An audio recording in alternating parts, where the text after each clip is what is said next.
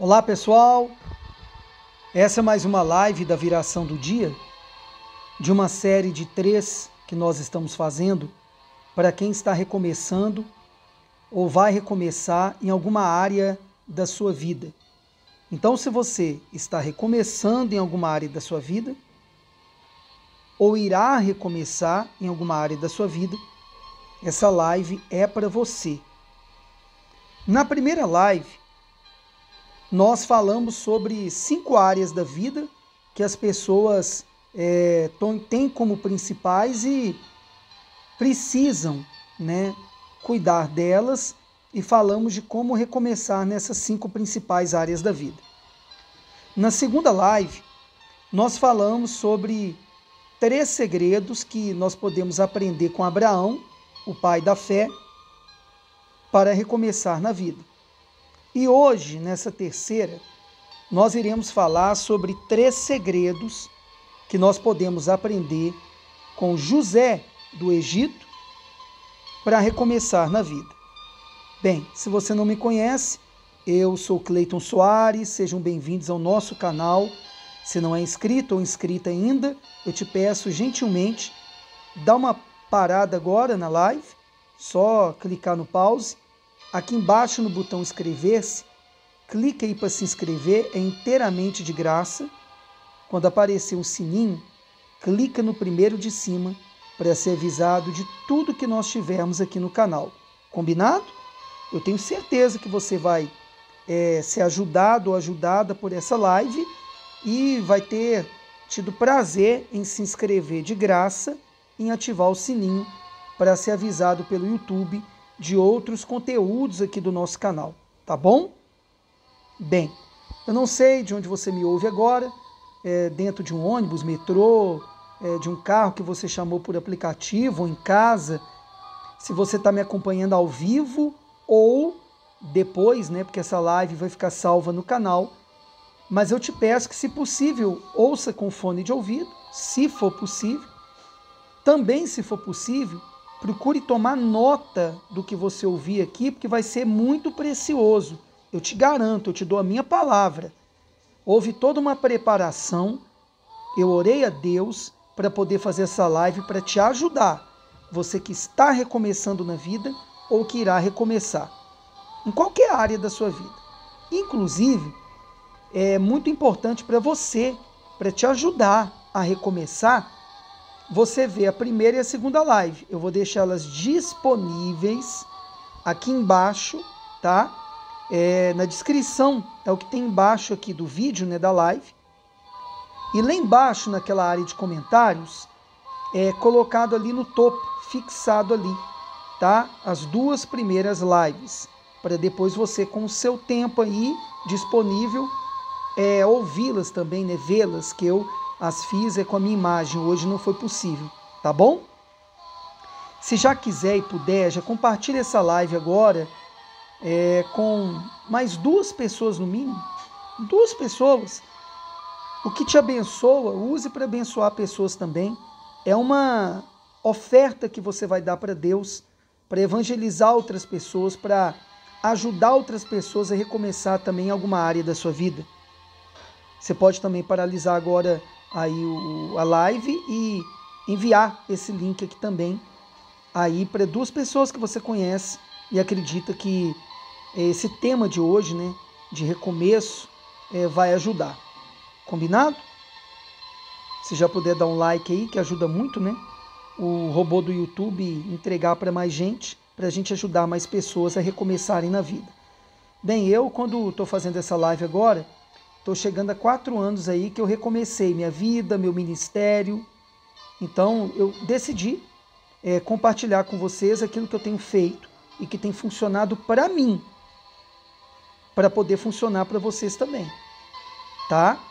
Bem, então nós vamos falar sobre os três segredos que a gente pode aprender com o José do Egito. O primeiro segredo é, já toma nota se puder, sempre fazer o melhor na condição que você estiver. Vou repetir. sempre fazer o melhor na condição que você estiver. Eu tenho uma frase que eu carrego comigo que é o seguinte: não tem o que quer ainda, use o que você tem agora, disponível aí para você, como ferramenta de trabalho, é, de acordo com o que você faz para levar o pão de cada dia para casa, é, no lugar onde você trabalha hoje, com as condições que você tem hoje, é, se utilizando também né, de tudo que você puder hoje, é, de talentos que Deus te concedeu para você recomeçar, na condição que você está. Quando eu comecei mesmo o canal no YouTube, eu tenho até vergonha de ver os primeiros vídeos meus, porque é, eram chatos. Eu procurei fazer o melhor, mas também eu não sabia editar vídeos, eu é, dava muita volta ao invés de ir direto ao assunto, era muito prolixo. É, eu não tinha um bom celular com uma boa câmera, mas eu fiz o meu melhor com o melhor que eu tinha, com a condição que eu tinha. Eu já quero te falar uma coisa, meu amigo e minha amiga, a condição que você se encontra hoje não é você. A condição que você se encontra hoje não determina quem você é. E não deixa a condição que você se encontra hoje te mudar. Pelo contrário, quem você é é que tem que fazer toda a diferença. O Deus que você serve e que vive debaixo dos princípios dele é que tem que fazer toda a diferença na situação que você se encontra hoje. Seja ela qual for, na condição que você estiver. Eu quero dividir com vocês aqui dois versículos para falar um pouco disso, né? Que José, ele sempre fez o melhor dele é na condição que ele estivesse. Lá em Gênesis 37, no versículo 13, diz assim: Disse, pois, Israel, ou Jacó, né, a José, o seu filho: Não apacentam os seus irmãos é, junto de Siquém? Vem e enviar-te-ei a eles. E ele, o José, respondeu: Eis-me aqui. É, José sempre tinha que fazer o serviço dele, dar o melhor dele para o pai dele, e muitas vezes fazer também o que os irmãos deveriam fazer, mas não faziam, não eram responsáveis. E aqui nessa passagem, o pai dele, é, Jacó, Israel, né, pediu para ele ir lá vigiar os irmãos dele, aonde eles disseram que estariam apacentando as ovelhas deles, da família, para ver se eles estavam fazendo o que tinham que fazer. Olha que situação. E isso foi um dos motivos pela qual os irmãos do José tiveram inveja dele e venderam ele como escravo. Porque quando você faz o seu melhor, independente da situação que você está, você vai gerar inveja de pessoas que estão perto. Porque você faz o melhor, você gera inveja. Mas se você tem um pacto, uma aliança com Deus, nenhuma inveja vai te atingir e vai te impedir de vencer. Amém? Eu quero dividir outra passagem que fala sobre isso também, que está em Gênesis 39, sobre José sempre fazer o melhor, né? Na condição que ele tinha. Aí ele já tinha sido vendido como escravo pelos irmãos dele, é, a maioria das pessoas sabe da história. Aí em Gênesis 39, versículos 3 e 4, diz assim: Vendo, pois, o seu senhor que Deus estava com ele, e tudo o que ele fazia, Deus prosperava em sua mão. José achou graça, né, o favor aos seus olhos e servia-o. E ele o pôs, pôs José sobre a sua casa para tomar conta, entregou na sua mão tudo que ele tinha Aqui o José já era um escravo de um homem chamado Potifar no Egito e o Potifar confiou tanto nele. Ele era um escravo, mas colocou ele para tomar conta dos outros escravos da casa e para administrar a casa, porque ele fazia o melhor e isso chamava atenção é, do senhor dele ali, do Potifar, né? Que Deus abençoava tudo que ele fazia. Outro versículo também que a gente pode conferir isso na vida de José é Gênesis 39, no versículos 21 e 22, que diz assim: O Senhor, porém, estava com José e estendeu sobre ele a sua bondade e deu-lhe graça também aos olhos de um carcereiro mor, né, de um chefe dos carcereiros de uma prisão. E o carcereiro mor entregou na mão de José todos os presos que estavam na casa lá do cárcere, na prisão. e ele ordenava tudo o que se fazia ali. Aqui já tinha avançado mais uma etapa na vida do José como escravo, e ele tinha sido acusado né, injustamente pela esposa lá daquele senhor que ele teve, do Potifar, de ter é, tentado abusar dela, né? Então, o Potifar não teve outra saída senão é, fazer com que ele fosse preso para ser punido por aquilo, pela acusação que a esposa dele fez a ele, né? Então, lá na prisão, o, José, ele se tornou chefe dos outros presos. Olha que coisa, né? Porque lá também ele fazia o melhor dele, mesmo na prisão. Então, aqui a gente vê esse segredo aí para você recomeçar, que é fazer o melhor. Bem, eu vou dar uma avançada aqui devido ao tempo, para não ficar longa a live. O segundo segredo do José para poder recomeçar na vida é o seguinte: o José ele fez alianças com as pessoas certas. Anote, fazer alianças com as pessoas certas, né? A gente chama hoje em dia de networking, uma rede de relacionamentos, né? Lá na prisão, ele fez uma aliança com dois funcionários né, do, do faraó, que era o homem mais poderoso lá do Egito.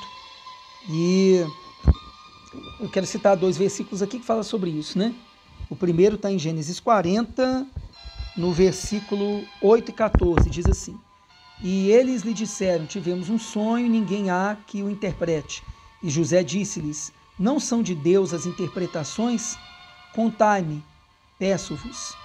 Versículo 14: Porém, lembra-te de mim, falou com eles, quando te for bem, e rogo-te que uses comigo de compaixão, que faças menção de mim, que falem de mim para Faraó, né, quando vocês forem soltos, e faz-me sair dessa prisão.